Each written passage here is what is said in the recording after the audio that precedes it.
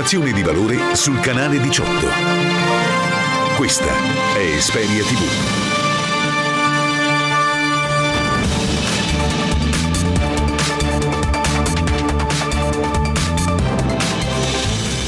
Verso il voto del 20 e 21 settembre per le amministrative Reggio Calabria Zingaretti a sostegno di Falcomatà, il segretario dice Falcomatà merita la riconferma. Modificare il decreto Calabria, rimuovere i commissari Cotticelli e Crocco, queste le richieste dei sindacati nell'incontro con il ministro Roberto Speranza. Ancora un altro sbarco nel Crotonese, quasi 100 i migranti soccorsi al largo di Isola Capo Rizzuto, almeno 30 tra donne e bambini, ora sono tutti al Sant'Anna. Mercoledì 9 di settembre, ben trovati sul 18 per l'appuntamento con l'informazione regionale di Esperia TV. Una bimba è risultata positiva al coronavirus nella frazione Mirto di Crosia ed il sindaco ha disposto la chiusura dell'asilo che frequenta la piccola. La bimba è familiare stretta del caso individuato nei giorni scorsi e collegato ad un focolaio registrato a Corigliano Rossano. Il sindaco Antonio Russo ha emesso un'ordinanza con la quale ha disposto la chiusura dell'asilo frequentato dalla bambina. Inoltre la famiglia in quarantena fiduciaria in attesa di nuove disposizioni. Restiamo in tema perché sono più 19 i casi di Covid-19 registrati quest'oggi in Calabria come da bollettino della Regione. Leggiamo insieme i dati, casi totali 1167, ricoverati 27, rianimazione 2 persone, guariti 1143, deceduti 97, in isolamento si trovano 212 persone, tamponi eseguiti sino ad oggi 9 di settembre 2020 sono 167.110. La pagina politica, come è noto il 20 e il 21 di settembre, in 75 comuni calabresi gli elettori andranno al voto per eleggere i sindaci e i consiglieri comunali a Reggio Calabria a sostegno di Giuseppe Falcomatà. È arrivato il numero uno del PD, Zingaretti. Se faccio l'elenco delle promesse della Lega quando va nelle città, scriviamo un libro tra il fantasy e l'horror. Io dico ai cittadini di Reggio, difendete la vostra città da un'aggressione che con Reggio Calabria non c'entra nulla. Così il segretario nazionale del Partito Democratico Nicola Zingaretti, partecipando ad una manifestazione del candidato sindaco del PD, il sindaco uscente Giuseppe Falcomatà. Quando si fa politica è giusto testimoniare i valori, ma quando ci sono le elezioni bisogna farli vincere quei valori e quindi noi corriamo per vincere e faccio un appello a tutta la base, ai cittadini, alle cittadine, alle donne, agli uomini, ai giovani che non vogliono che torni Salvini, che non vogliono che torni la Meloni, di unirsi intorno a queste candidature che eh, qui a Reggio Calabria sono rappresentate da Falcomatà io sono il segretario del PD, ha detto Zingaretti, ma Falco Matà non ha avuto peli sulla lingua nel protestare quando ha visto che c'era una disattenzione del governo rispetto alla sua città. Falco Matà che l'ha salvata grazie al fatto che ha battuto i pugni sul tavolo.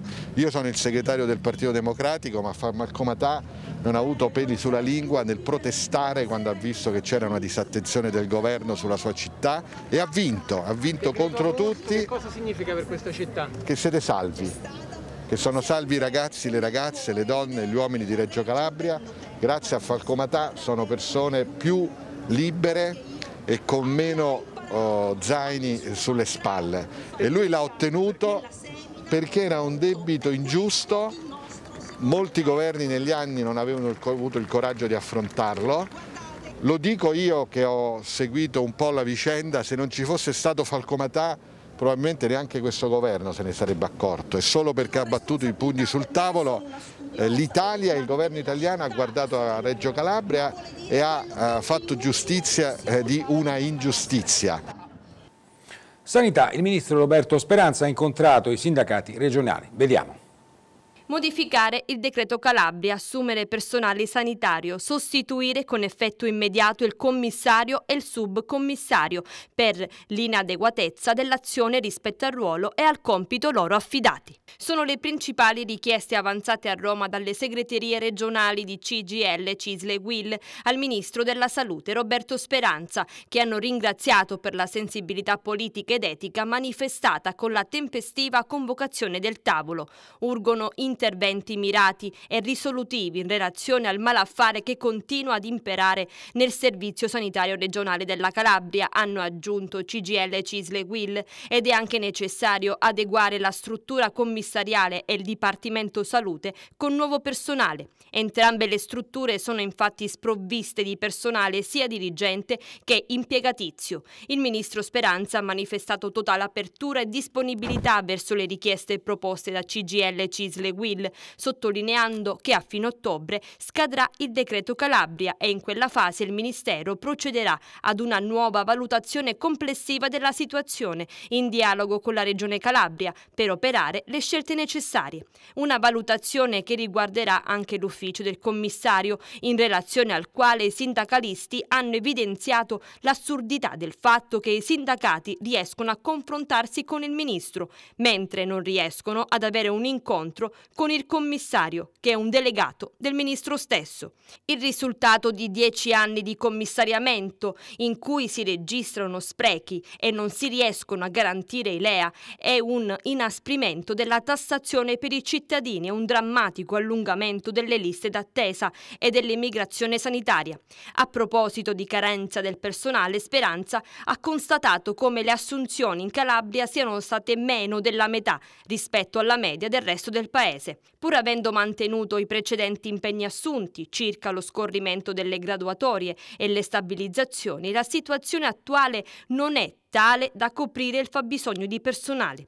L'incontro si è concluso con l'impegno da parte del Ministro ad affrontare il nuovo percorso, coinvolgendo già nelle prossime settimane le organizzazioni dei lavoratori nel dialogo con la Regione sulla riorganizzazione di un settore di importanza fondamentale per la vita delle persone, per le famiglie e per le comunità. Restiamo in tema perché sulla vicenda del Marelli Hospital che ha esaurito il budget per la radioterapia il parlamentare calabrese Francesco Sapia ha chiesto al vice ministro Pierpaolo Sileri di promuovere un tavolo urgente per trovare in qualche modo una soluzione.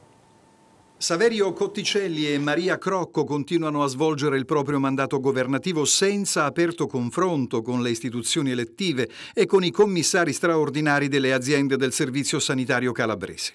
La sanità della Calabria sprofonda sempre di più in un baratro gestionale che non conosce precedenti, incomprensibile e inaccettabile alla luce del fatto che commissariata dal 2010 e ciò nonostante presenta un forte aumento del disavanzo, un peggioramento progressivo dei servizi servizi e il grave problema dell'emigrazione per le cure che costa alle casse regionali 300 milioni circa all'anno.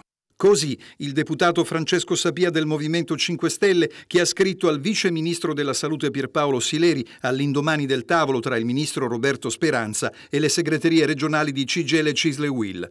Il parlamentare, nella missiva a Sileri, ha sollevato la problematica della radioterapia di Crotone, che ha sospeso i trattamenti ai pazienti oncologici a causa dell'insufficienza del budget, esaurito in otto mesi di attività, e che attende risposte dall'ufficio del commissario. Per il deputato è urgente promuovere uno specifico tavolo. Cotticelli, infatti, sollecitato dallo stesso Sapia, ha risposto di non doversi considerare i bisogni dei suddetti pazienti, quasi come se non vi fossero. In più, per il commissario alla sanità, le prestazioni di radioterapia del Marrelli Hospital andavano programmate in dodicesimi, malgrado i chiarimenti di diritto forniti dal Tribunale amministrativo regionale della Calabria. Sulla questione, Sapia ha chiesto a Sileri di intervenire da vice ministro Ministro, in modo che in tempi brevi si possano trovare, attraverso il rapido coinvolgimento di tutte le parti interessate, soluzioni adeguate per i pazienti oncologici nel loro esclusivo interesse. Occorre richiamare la struttura commissariale ad avere da subito un atteggiamento di maggiore ascolto e apertura alla concertazione nello svolgimento del delicato compito di allocazione delle risorse e più in generale di gestione del piano di rientro dal disavanzo sanitario della Calabria. Calabria. Intanto il Tribunale per i diritti del malato di Crotone, in relazione proprio alla comunicazione del Marelli Hospital di aver esaurito il budget per l'utilizzo della radioterapia e quindi di non poter più evadere le richieste dei malati in cura e di nuovi, si unisce all'appello dei pazienti che vorrebbero continuare ad usufruire del servizio nella propria città senza doversi recare fuori provincia con gravi disagi e lunghe attese. Il bisogno di salute, dice il Tribunale dei diritti del malato, e soprattutto di quelli oncologici deve essere tutelato quindi garantito con ogni mezzo. Il TDM pertanto chiede ai responsabili della sanità regionale di attivarsi concretamente e di erogare le somme necessarie per consentire ai nostri malati di continuare a curarsi a Crotone. Cambiamo eh, argomento, voltiamo pagina, sono 97 i migranti soccorsi a largo di Isola Capo Rizzuto da unità navali della Capitaneria di Porto della Guardia di Finanza, si trovavano a bordo di una barca a vela partita eh, probabilmente alle coste della Turchia. A causa del mare Forza 5 le operazioni di soccorso sono state complesse, si è deciso di scortare la barca con a bordo i migranti nel più vicino porto di Le Castella anziché a Crotone. Tra i migranti sbarcati ci sono 30 donne, la prefettura eh, Pitagorica ha predisposto l'organizzazione dello sbarco con la presenza delle forze dell'ordine, di medici del 118 e ovviamente della Croce Rossa Italiana. Ed ora ci occupiamo di un appuntamento importante, la 24esima edizione di Moda Movie. Andiamo a Cosenza. In questo bellissimo chiostro della nostra città, città di Cosenza, oramai siamo, sono più anni che facciamo tante belle cose per Moda Movie. Quest'anno proprio il 21 di settembre inizieremo, inizieremo con lo showcase, fare qui iniziando la mattina con l'apertura e poi alle 11.30 la conferenza stampa e poi in, andremo a degustare qualcosa con il primo dei nostri eh, ristoratori, cioè la famiglia Barbieri. Fatto questo il pomeriggio si prepara per le sfilate, quindi dalla parte opposta al chiostro eh, faremo le sfilate e presenteremo questa collezione dei, con gli abiti di Salleugio, i tessuti di Salleugio. Gli abiti sono stati realizzati di questi bravissimi tre stilisti che hanno fatto Moda Movie qualche anno fa e che quest'anno presenteranno queste tre collezioni un po' per i bambini, un po' per gli adulti, sono tante cosette che adesso non sto a spiegarvi nel dettaglio. Quindi una location che a me piace da morire e quindi sono molto felice per questo. Poi andremo vabbè, in altre location come per il cinema del San Nicola, la serata conclusiva al Teatro Rentano. Lo showcase è questa invenzione che ci siamo fatti noi, non solo noi, ma tanti altri, noi 16 anni fa, credo oramai sono, di cibo e moda. E noi quest'anno, quindi il 21 saremo qui con queste eccellenze di, del sud, io dico il sud, anche se sono il 99% di Calabria, però il sud, questa cosa straordinaria, quindi saranno esposti qui che si possono osservare a distanza ravvicinata, si possono vedere, si possono contattare, eccetera, eccetera. Quindi questo è il 21 per come dicevo prima poi facciamo San Nicola, il cinema, facciamo al Teatro Rendano la conclusione appunto con i fashion designer, gli ospiti, le premiazioni, tutta la serata conclusiva a Rendano. E poi una cosa molto bella, un altro posto molto affascinante è il Biblioteca Nazionale, è un altro posto fantastico che abbiamo, così ne abbiamo tanti, non solo questo. E lì faremo il workshop, questi due giorni di workshop che sono il 26 e il 27 e quindi niente, ci auguriamo, ringraziamo il Padre Eterno che ci faccia andare tutto per la via migliore, che giungiamo e terminiamo questa 24esima edizione perché siamo già pronti, eh, avviata già la 25esima edizione. L'anno prossimo faremo le nozze d'argento e quindi siamo lì pronti per eh, preparare il tutto. È tutto, l'informazione di Esperia tornerà domani alle 13.45, arrivederci.